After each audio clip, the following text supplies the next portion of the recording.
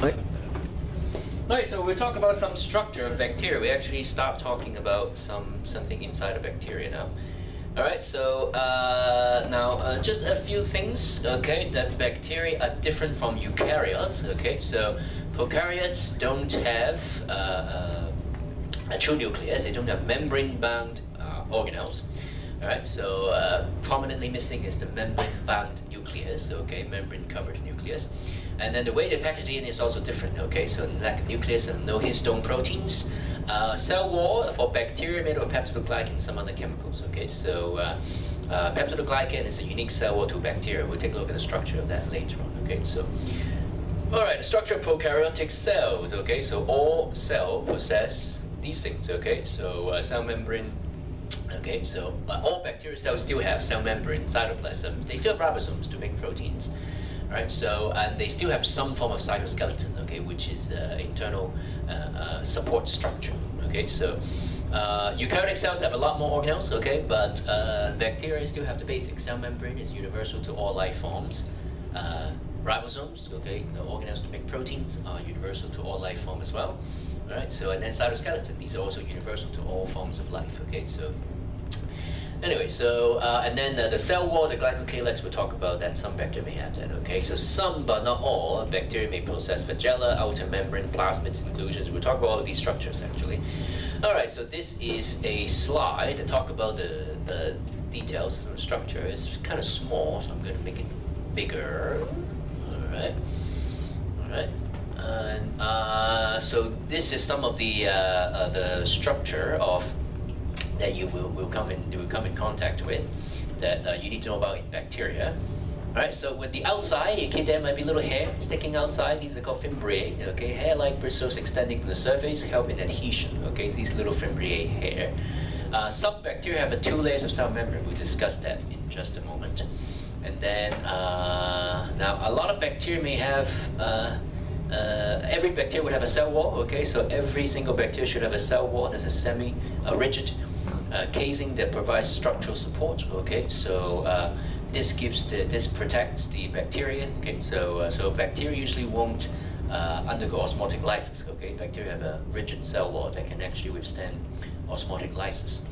Right, so some bacteria may have a capsule. Okay, not all bacteria have it. Some bacteria have a capsule, which is an outer layer of uh, of uh, of a glycocalyx. Okay, so of of sugars serve as a protective ad adhesion, adhesive stuff, okay? And then uh, uh, sometimes it could be uh, loosely uh, uh, associated with the cell wall, and it's just called a slime layer, okay, glycocalyx.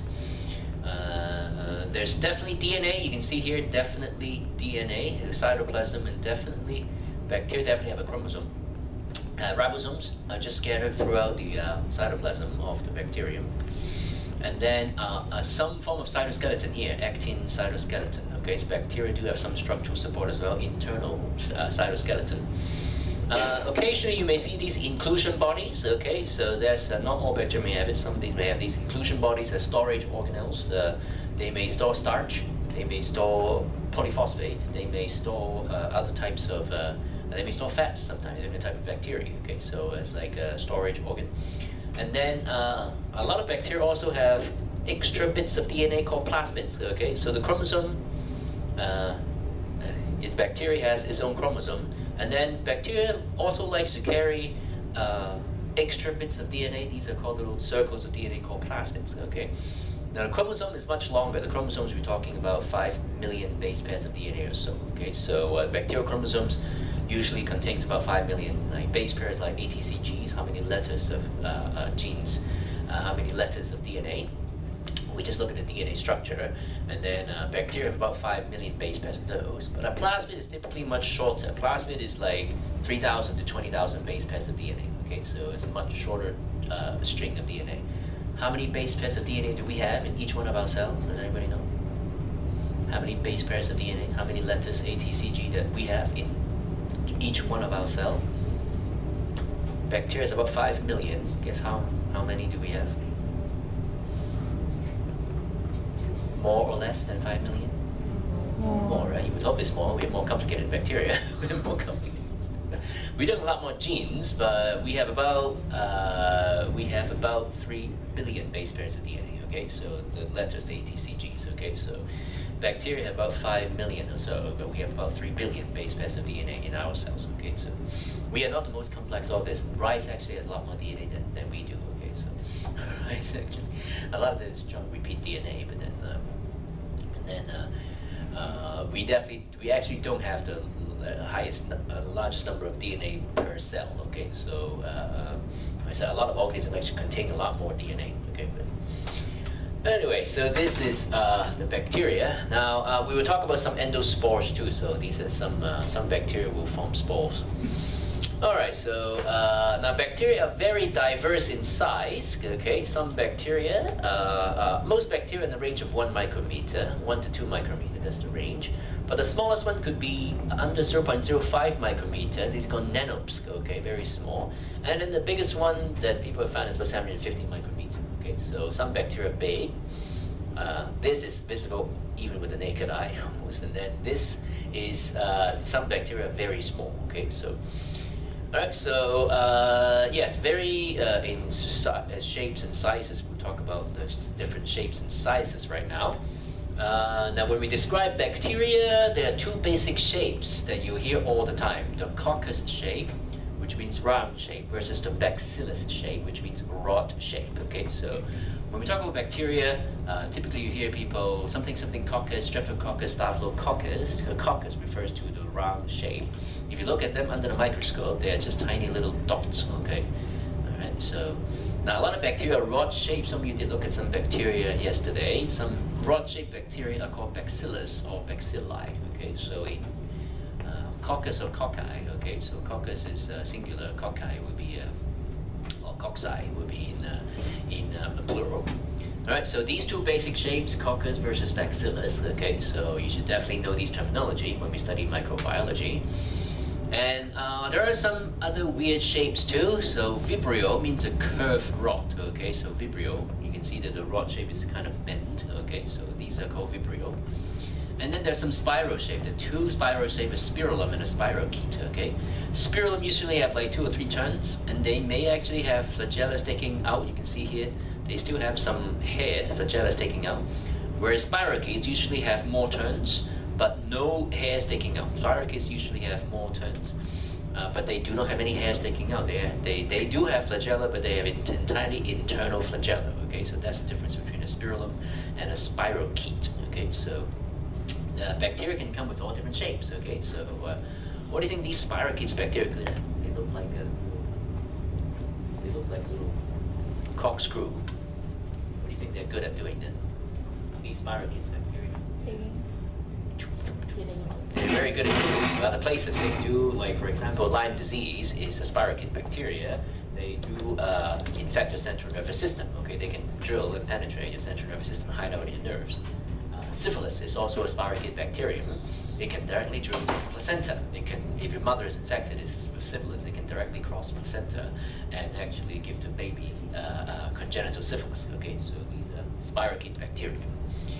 Right, so uh, yeah, so the, we have these different shapes, okay? Now you probably don't see this one too often called branching filaments. These are some uh, uh, quasi streptomyces. These are some bacteria that look like fungus. They're multicellular bacteria actually. So uh, and, uh, some bacteria do exist in multicellular form, and these cells they clump together. All right, so let's go back to coccus. So to the basic shapes in cocci, we have these two basic shapes, Streptococcus versus Staphylococcus. All right, so Streptococcus means a chain of uh, coccus bacteria. So Streptococcus, okay, so the chains of cocci bacteria. And then uh, when they're just four packed together called tetrads, and then uh, a bunch of irregular clusters are staphylo, okay? The term staphylo means irregular clusters. Uh, Staphylococci and Streptococcus are the two most important uh, uh, big classes of gram-positive bacteria that we'll study. Okay, so strep throat, for example, is uh, kind of Streptococcus, Streptococcus pyogenes, and then uh, staph, like uh, skin infection, MRSA, okay, and which is Staphylococcus aureus. Okay, so these are the two most common um, coccus-shaped bacteria.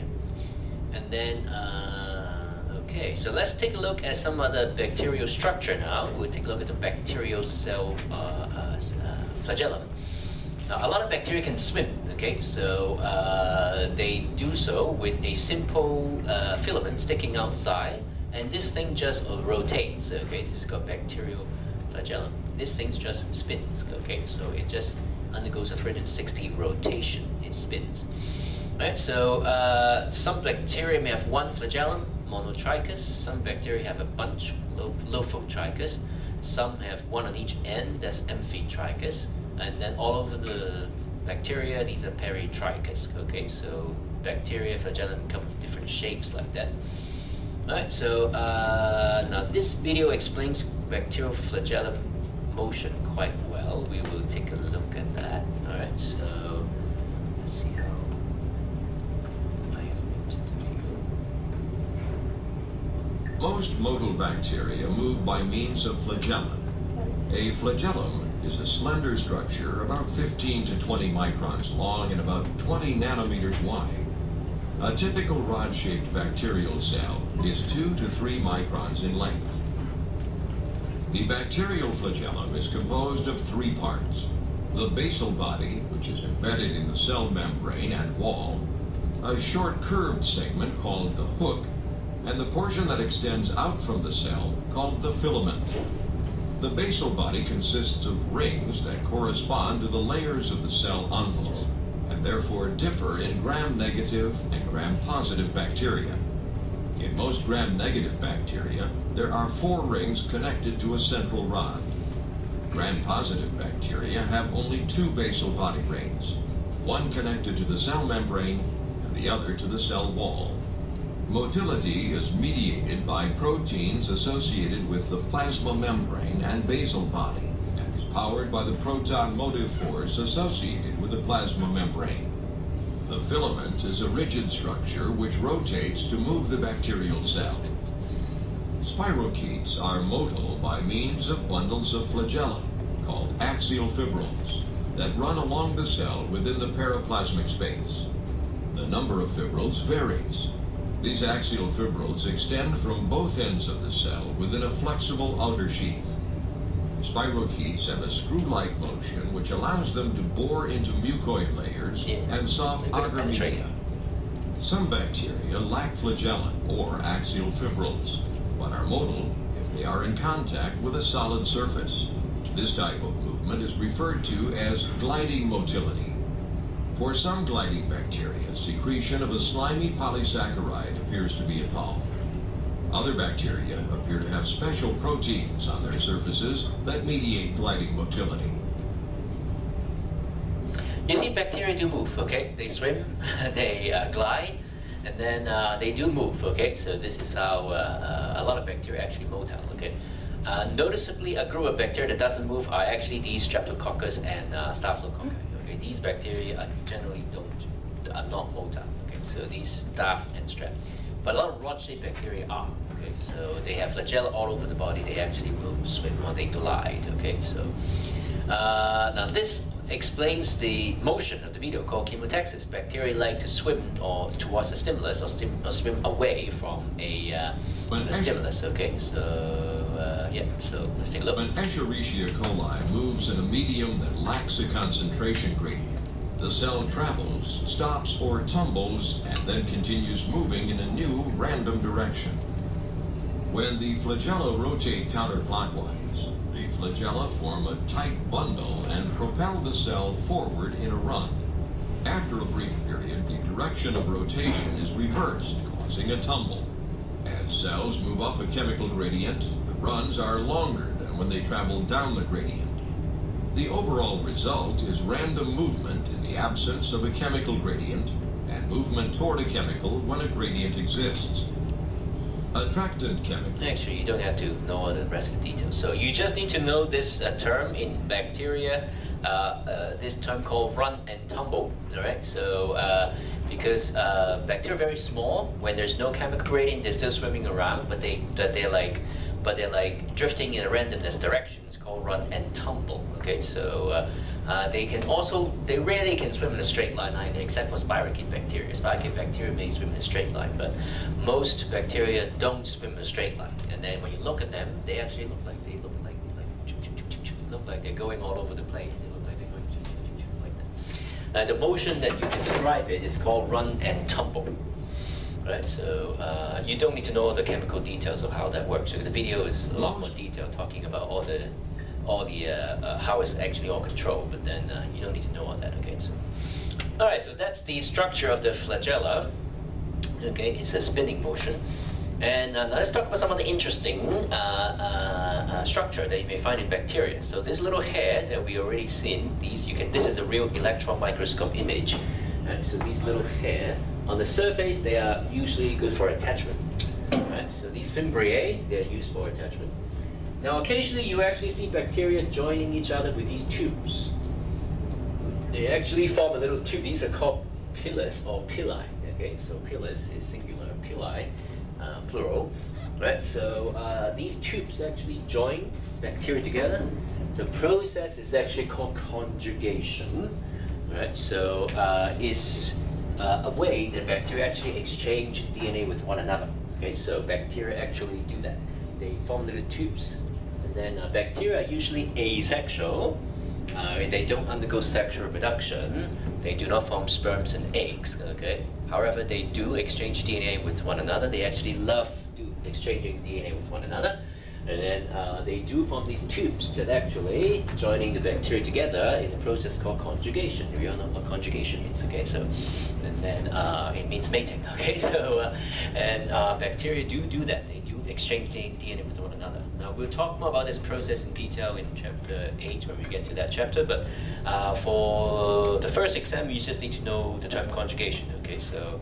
Uh, I have a question asking you when bacteria, or what structure is responsible for that? The pilus is a structure.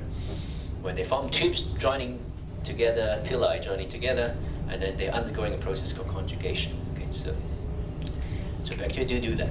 Now let's take a look at the sugar coats, the glycocalyx, okay, sugar coats. And then uh, you need to avoid, uh, uh, the sugar coat is actually, that helps the bacteria either adhere uh, to each other, okay, forming uh, it could be a slime layer, which is like a sticky layer, okay, so you can see here. Uh, it can actually be quite a bit bigger than the bacteria itself. You can see the bacteria is here. Then it makes, then it secretes a lot of sugar, like sticky substance, which actually helps the bacteria glue to each other and helps bacteria form a, a slime layer of bacteria. Right, so uh, now these are called biofilms, okay? So uh, congregation, aggregation of a lot of bacteria. They, could, they are universally present in virtually any wet surface. Right, this is the EM picture of a catheter surface. And then uh, any bacteria gets stuck in a, uh, in a wet surface. Bacteria like to congregate in wet surface. They are present anywhere you see some water, you know, along your sink all right, so they are present, uh, very prevalent in your sponge. Okay, so uh, if you leave your kitchen sponge uh, for a few days, how does it smell like? Bad. Bad. When you touch it, how does it feel like?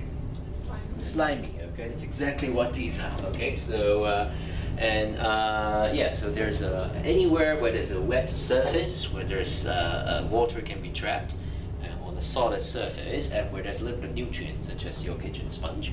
Right, so uh, there would be a lot of these biofilms formation. Okay, so biofilm uh, formed by aggregation of bacteria. They are usually formed by bacteria secreting this slime layer and then aggregating with each other. Okay, so so that's uh, yeah. So they're everywhere. Okay, in your shower curtain, your kitchen sponge, they're like anywhere where the surface is a little bit wet. They are also present in your teeth as well. Your teeth is a perfect substrate to form biofilms, okay, the plaques from your, um, when you floss, okay, the little, the white gluey stuff, the plaques when you, so uh, your mouth is always wet, and then, um, and then uh, the biofilms forming all over around your teeth, okay, so, uh, and then uh, uh, if you leave them uh, unattended, they're going to cause problems, okay, they're going to cause tooth decay and, you know, gingivitis and all that, okay, so, yes, this is all biofilms. All right, so now there are also a thicker coat called the capsule. You can see here, this is the bacteria, and then there's a thick coat like that, okay? This is called a capsule, okay? So now capsule uh, are more tightly attached to the bacteria than the biofilms. Um, Uh, but they actually help uh, the bacteria escape from the immune system actually because they help the bacteria enhance uh, uh, pathogenicity. Okay, so they usually